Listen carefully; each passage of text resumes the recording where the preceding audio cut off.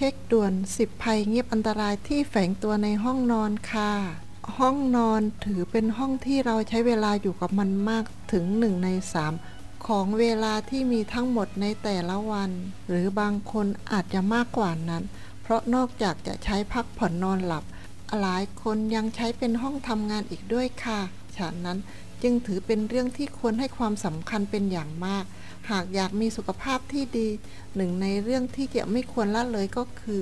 สุขอนามัยที่ดีของห้องนอนค่ะ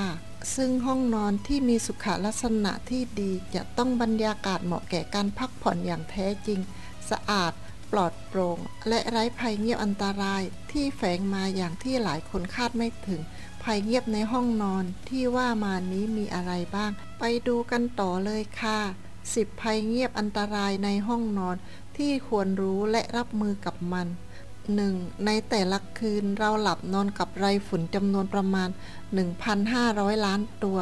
แคโรลินฟอร์เต้ผู้อำนวยการห้องและสถาบัน Good Housekeeping บอกว่านั่นเป็นเรื่องจริงที่นอนของเรามีไรฝุ่นจำนวนมหาศาล วกมันชอบความชื้น ดังนั้นหากเราต้องการจะลดจำนวนของพวกมันลงบ้าง ก็ต้องให้อากาศเข้าไปทำให้ความชื้นระเหยออกไป เปิดผ้าห่ม ผ้าปูจัดให้เรียบร้อย อย่าให้หมักหมม ความชื้นเอาไว้ค่ะ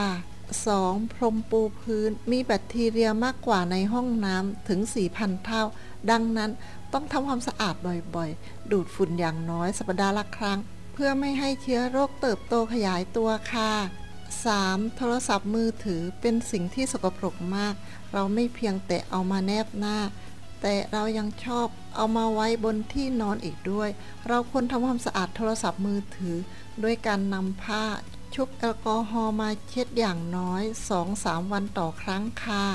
4. หมอนที่เรานอนเต็มไปด้วยไรฝุ่น และเศษผิวหนังที่ตายแล้วสะสมกันมาหลายปี มีการศึกษาพบว่าน้ำหนักของหมอนจะเพิ่มขึ้น2เท่า ในเวลา 3 ปี นั่นเป็นเพราะมันสะสมความสกปรกเหล่านี้ เราจึงควรทำความสะอาดหมอนด้วยการซักบ้างค่ะ 5. ที่นอนของเราก็เต็มไปด้วยความสกปรก ในเวลา 8 ปี ที่นอนของเราจะมีเซลล์ที่ตายแล้ว สะสมอยู่เป็นน้ำหนักถึง 10 ปอนด์ดังนั้น จึงควรต้องการทำความสะอาดบ้างค่ะ 6. ชุดนอน ก็เป็นรังของแบคทีเรีย หลายๆ คนยอมรับว่าไม่ได้ซักชุดนอนทุกวัน บางทีก็ใส่แล้วใส่อีก นานเป็นสัปดาห์นั่นทำให้ชุดนอนกลายเป็นแหล่งสะสมของเชื้อแบคทีเรียได้ หากจะใส่ซ้ำก็ไม่ควรนานเกิน 3 วันค่ะ 7. เราทำเหงื่อหยดลงไปบนที่นอน ปีละ 26 แกลลอน นั่นทำให้ที่นอนมีกลิ่น และมีสิ่งสกปรกอยู่เต็มไปหมด การทำความสะอาดและฉีดสเปรย์จะช่วยขจัดกลิ่นและความอับชื้นได้ค่ะ 8. เครื่องสำอางเก่าที่เก็บไว้ในห้องนอน มีแบคทีเรียในระดับที่อาจทำให้ไม่ปลอดภัยค่ะ เพราะเคยมีการนำสินค้าเหล่านี้มาทดสอบ พบว่าหากเก็บไว้นานหรือหมดอายุ เครื่องสำอางพวกนี้จะมีแบคทีเรียในระดับที่อาจจะเป็นอันตรายต่อสุขภาพค่ะ 9. เชื้อไวรัส สามารถมีชีวิตอยู่ในบรรยากาศห้องได้นานถึง 48 ชั่วโมง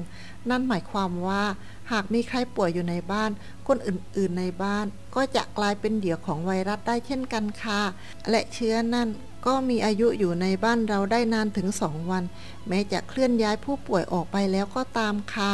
10. การนอนกับสัตว์เลี้ยง อาจจะทำให้เราป่วย หรืออาจจะติดพยาธิจากสัตว์เลี้ยงได้ค่ะ ดรเจนเฮลเลอร์ จาก Charles Sturt University บอกว่า การใกล้ชิดกับสัตว์เลี้ยง ก็ทำให้เรามีโอกาสติดเชื้อ หากใครที่นอนกับสัตว์เลี้ยง ต้องทำความสะอาดที่นอนให้มากกว่าปกติ อาจจะต้องมากกว่าแค่สัปดาห์ละครั้ง และทางที่ดี ควรจัดแบ่งขอบเขตของที่นอนให้แน่ชัด ว่าส่วนไหนเป็นที่นอนของคุณ ส่วนไหนเป็นที่นอนของเจ้าเพื่อนรักค่ะสิบภัยเงียบเหล่านี้ แฝงความอันตรายที่น่ากลัวไม่น้อยเลยค่ะฉะนั้นหลังจากดูบทความนี้จบแล้ว อย่าลืมที่จะสำรวจห้องนอนของตัวเองกันนะคะ จะได้รู้ว่าห้องนอนของเรายังมีภัยเงียบเหล่านี้อยู่หรือไม่ หากมี ก็จะได้รีบจัดการกับมัน เพื่อที่จะไม่ให้ส่งผลร้ายต่อสุขภาพของเรานั่นเองค่ะ หรือถ้าห้องนอนของคุณสะอาดถูกสุขลักษณะอยู่แล้ว ก็จะได้นอนหลับพักผ่อนได้อย่างสบายใจ ห่างไกลจากภัยเงียบทำลายสุขภาพเหล่านี้ค่ะ เคล็ดลับดีๆ แบบนี้ ก็อย่าลืมส่งต่อให้เพื่อนๆ หรือคนที่เพื่อนๆรักและห่วงใยด้วยค่ะ เพราะความสุขที่ยิ่งใหญ่คือการเป็นผู้ให้ ขอให้มีสุขภาพที่ดี แข็งแรง ร่ำรวยความสุขทวนหน้ากันทุกท่านตลอดไปเลยนะคะ อย่าลืมถ้าคุณชอบโปรดกดไลค์ ถ้าคุณถูกใจโปรด Subscribe เพื่อเป็นกำลังใจให้แก่พวกเราด้วยค่ะ